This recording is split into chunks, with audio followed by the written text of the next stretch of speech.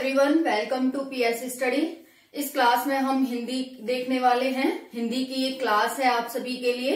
SSC GD UPSI UP constable सभी exam के लिए क्लास इम्पोर्टेंट होने वाली है। इसमें हम ट्रिक के माध्यम से भी चीज़ों को समझेंगे, देखेंगे और उन पर विचार करेंगे। सोचना और प्रैक्टिकल करना बहुत ज़्यादा इम्पोर्टेंट हो गया है आज के समय में। तो इसीलिए सिर्फ़ हम रटेंगे नहीं, पढ़ेंगे नहीं बल्कि समझेंगे, सोचेंगे और विचार करेंगे और फिर क्वेश्चनों को ठीक करेंगे।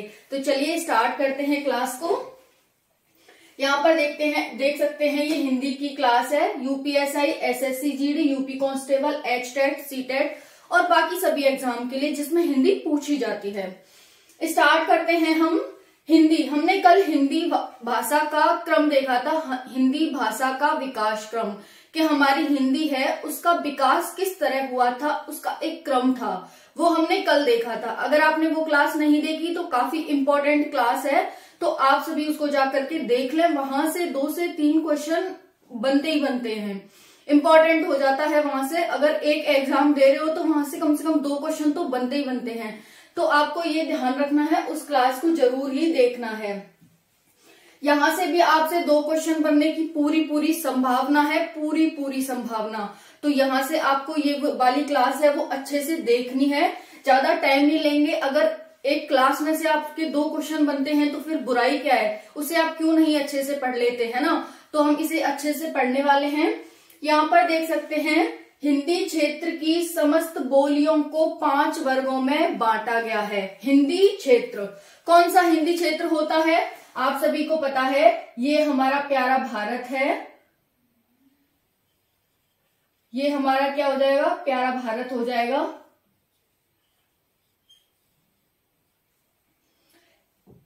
एक मिनट। देखो, ये हमारा क्या है? प्यारा भारत है, छोटा सा भारत बनाने की कोशिश करते हैं।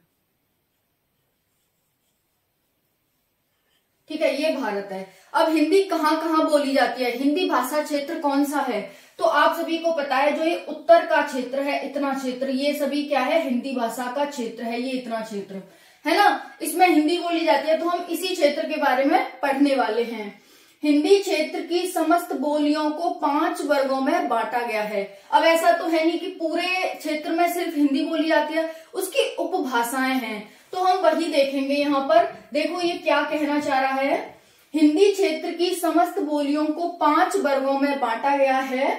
इन वर्गों को उपभाषा कहा गया है। इन वर्गों को जो पाँच वर्ग हैं, उन्हें उपभाषा कहा गया है। और इन उपभाषाओं के अंतर्गत ही हिंदी की सत्रह बोलियाँ आती हैं। यानी कि हिंदी में कितनी बोलियाँ हैं? सत्रह बोलियाँ हैं। हिंदी एक भाषा है और उसमें सत्रह बोलियाँ बोली जाती हैं। अब देखते हैं किस क्षेत्र में कौन सी बोली बोली जाती है। एग्जामिनर आपसे पूछेगा, पश्चिमी हिंदी में कितनी बोलियाँ बोली जाती हैं? तो आपको ऐसे बताना है कि इतनी बोलियाँ बोली जाती हैं। या फिर ये पूछ सकता है कि निम्नलिखित में से कौन सी भाषा पश्चिमी हिंदी में नहीं बोली जाती है? तो आप पता लगाएँगे कि ये नहीं बोली जाती है। वैसे पूछेगा कि पश्चिमी हिंदी किस किस राज्य में बोली जाती है? तो आप बताएँगे कि इस इस राज्य में पश्चिमी हिंदी बोली जाती है। तो इस तरह से मैंने आपको पहले ही बता दिया है कि एग्जामिनर आपसे क्वेश्चन किस तरह से पुट करेगा। तो उसी तरह से आपको यहाँ पर पढ़ना है। हमें एग्ज़ाम के लिए पढ़ना है, हमें कोई बुक नहीं लिखनी है यहाँ पर। हमें एग्ज़ाम के लिए पढ़ना है तो हमें एग्ज़ाम ओरिएंटेड ही पढ़ना होगा। ठीक है तो उसी पर आज हम बात करने वाले हैं। तो देखो, ये उपभाषाएँ हमने क्या कहा था कि हिंदी क्षेत्र की समस्त बोलियों को पाँच वर्गों में बांटा गया है? इन वर्गों को उपभाषा कहा गया है। तो पाँच जो वर्ग थे, उनको क्या कहा गया? उपभाषा। तो यहीं पर ये पाँच उपभाषा हैं। फिर इन उपभाषाओं के अंतर्गत ही हिंदी की सत्रह बोलियाँ आती हैं। फिर ये सत्रह बोलियाँ हैं, ठीक है? कौन कौन से क्षेत्र में बोली जाती हैं, वो ये दिया गया है आपको। तो ये तीनों हमें अच्छे से पढ़ना है। पहला है हमारी सौरसेनी उपभाषा सौरसेनी उपभाषा। सौरसेनी उपभाषा में ये पश्चिमी हिंदी आती है। सौरसेनी उपभाषा में पश्चिमी हिंदी आती है। इसमें पाँच बोलियाँ बोली जाती हैं। पहले आपको ध्यान रखना है सौरसेनी सौरसेनी में पश्चिमी हिंदी आती है। पश्चिमी हिंदी का मतलब जो पश्चिम जिन जिन, जितने क्षेत्र में पश्चिम मतलब भारत के पश्चिम भाग में जो हिंदी बोली जाती है ना, उसमें जो जो बोलियाँ आती हैं वो है। अब भारत का पश्चिमी भाग कौन सा है? ये वाला तो यही है। हमारा सौरसेनी सौरसेनी में पश्चिमी हिंदी पश्चिमी हिंदी में पाँच बोलियाँ हैं, ठीक है? तो पाँच बोलियाँ कौन सी है? खड़ी बोली, ब्रजभाषा, कन्नौजी, बुंदेली और हरियाणवी। खड़ी बोली, यही बोली जाती है। खड़ी बोली हमारी पश्चिम भारत में ब्रजभाषा भी पश्चिम भारत में बोली जाती है, कन्नौजी बुंदेली और हरियाणवी ये हमारी पश्चिमी भाग में बोली जाने वाली बोलियाँ हैं। ठीक है तो हमने सौर शैली को पश्चिमी हिंदी में बांटा और पश्चिमी हिंदी में पाँच बोलियाँ आती हैं, ये वाली। अब इसकी ट्रिक क्या है? इसकी ट्रिक है, कबक बह गया। क्योंकि पश्चिम में क्या है? पश्चिम से उत्तर होते हुए पूर्व तक हमारी गंगा नदी बहती है तो उसमें बहुत सारे कवक थे, वो बह जाते हैं। तो आपको ट्रिक क्या देखनी है? कबक बह गया। कबक बह। तो के से खड़ी बोली बी से ब्रजभाषा के से कन्नौजी बी से बुंदेली एच से हरियाणवी। ये आपको ध्यान रखना है यहाँ पर। किस क्षेत्र में बोली जाती है ये पश्चिमी हिंदी? तो आपको ध्यान रखना है हरियाणा और उत्तर प्रदेश में पश्चिमी हिंदी बोली जाती है। हरियाणा और उत्तर प्रदेश। पश्चिमी हिंदी बोली जाती है। आप देखते हैं ना, हरियाणा के लोग खड़ी बोली बोलते हैं, उनकी कुछ अलग ही भाषा होती है। होती तो वो हिंदी है, लेकिन वो थोड़ा वर्णों को ऊपर नीचे करके बोलते हैं। वैसे ही ब्रज भाषा, ब्रज में जो भाषा बोली जाती है, मथुरा, ठीक है, मथुरा के आसपास के जो क्षेत्र हैं, वरसाना, इन सब में ब्रज भाषा बोली जाती है। तो वो हो गई कन्नौजी हो गई बुंदेली, हरियाणवी, ये सारी हमारी पाँच बोलियाँ आती हैं सौरसेनी में, जिसे हम पश्चिमी हिंदी भी कहते हैं। और इसमें पाँच बोलियाँ हैं, उत्तर प्रदेश और हरियाणा में ये बोली जाती है। नेक्स्ट है अर्धमागधी। अर्धमागधी में पूर्वी हिंदी आती है। पूर्वी हिंदी में तीन बोलियाँ आती हैं। नेक्स्ट उपभाषा क्या है हमारी? अर्धमागधी। अर्धमागधी में पूर्वी हिंदी आती है, जिस तरह से इसमें पश्चिम वाला भाग को हम पश्चिमी हिंदी कह रहे थे तो इसमें पूरब वाला भाग आता है, यानी कि ये वाला भाग, भारत का पूरब वाला भाग। जिसमें हिंदी बोली जाती है, उसमें तीन बोली, बोलियाँ बोली जाती हैं पूर्वी हिंदी में। छत्तीसगढ़ी, अवधि और भगेली। छत्तीसगढ़ कहाँ है? यहाँ पर है छत्तीसगढ़, अवधि, भगेली। छत्तीसगढ़ में अवधि और भगेली। तो यहाँ ध्यान रखना है, छत्तीसगढ़ी, अवधि और भगेली। सीएबी से इस ट्रिक से याद कर सकते हैं आप। इसकी ट्रिक क्या हो जाएगी? सीएबी कौन से क्षेत्र में बोली जाती है? मध्य प्रदेश छत्तीसगढ़ और उत्तर प्रदेश।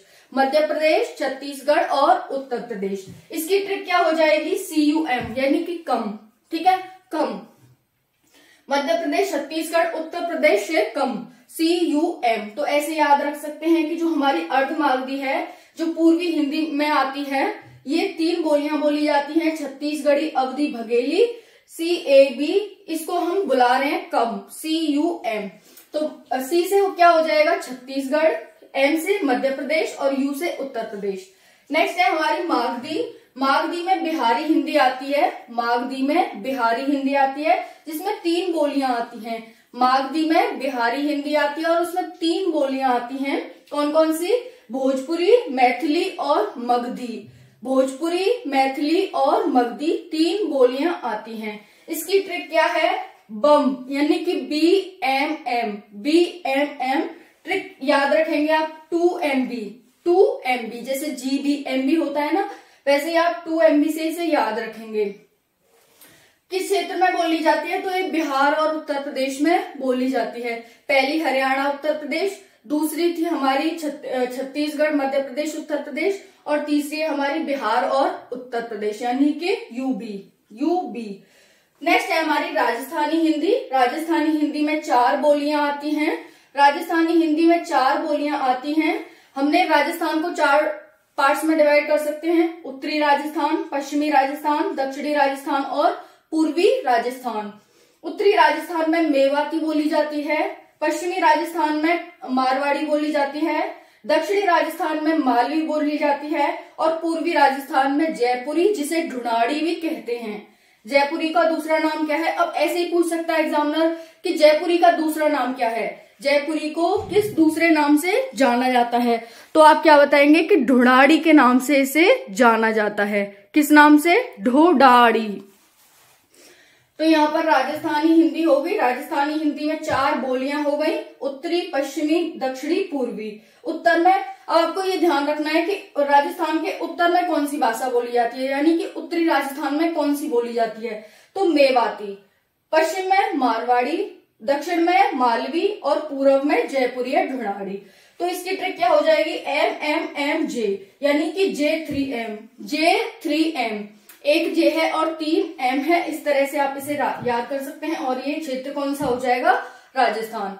नेक्स्ट है खस अपभ्रंश। खस अपभ्रंश, जिसमें पहाड़ी हिंदी आती है।